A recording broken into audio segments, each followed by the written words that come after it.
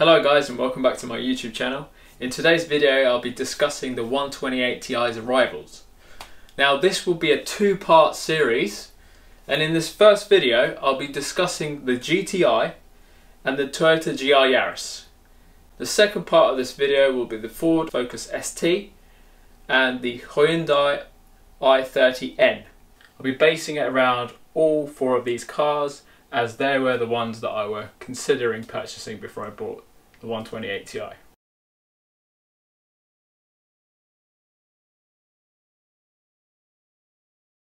So the price of this starts from £34,960 as, as a base model car.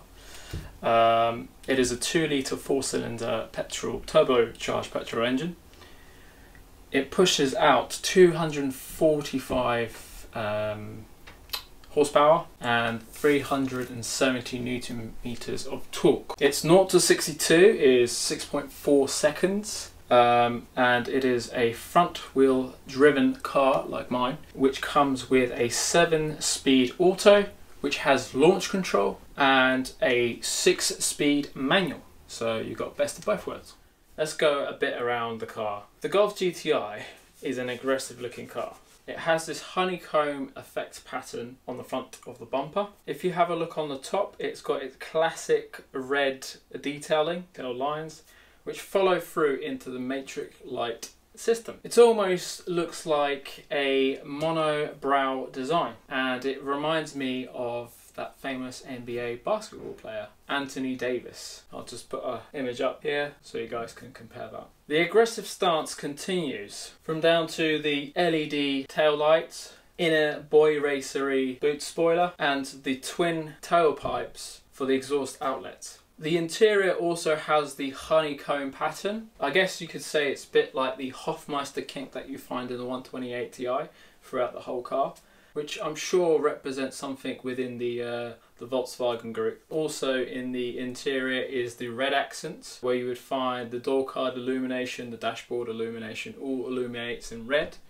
Also with the instrument cluster, it's obviously a digital one. You've got a nice big infotainment system in the middle, um, which you can, you know, navigate to to do stuff on. Unfortunately, they've removed actual buttons in uh, the Golf. Um, so you have to use these touch sensitive buttons which don't really give you a physical feedback as such. Uh, you have to be looking at the screen to see if you've you know uh, selected the right option that you wanted to. Um, if we talk a bit about the seats, uh, the seats are this these pretty cool uh, one piece things where the headrest is uh, built into the actual the, the seat itself which looks pretty cool. Um, it almost reminds me of uh, the one 35i seats. Uh, I think they maybe had inspiration from there. D- you don't know because all these automotive um, companies copy each other's ideas or make it better. So that was a basic overview of the exterior and interior.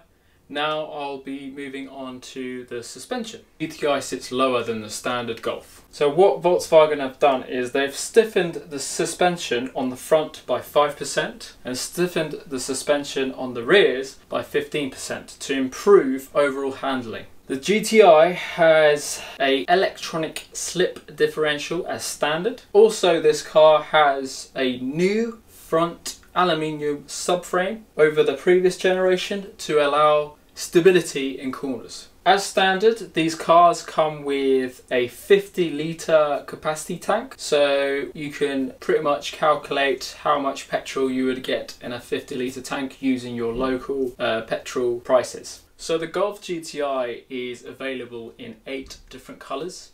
Now I'll go through which ones are the solid ones, which ones are the metallic ones, and which ones are the pearlescent ones. And I'll also give you a rough guide of how much they will cost. Additionally, if you add them to, while specking up your car. First off, we've got uh, Pure White, which is a solid colour, which is actually the free colour that you can get. Then we've got a Moonstone Grey, which is another solid colour, which looks pretty cool, which is roughly about £375 additional. We've got a Atlantic Blue, which is metallic, which is 625 Dolphin Grey, again, £625. King Red, which is the one on the video behind me, uh, which is £755. A Reflex Silver, £625. Now, if we move on to the pearls, we've got Deep Black, which is £625. And last but not least, we've got Oryx White Mother, which is another pearl, and that is a whopping £1,040.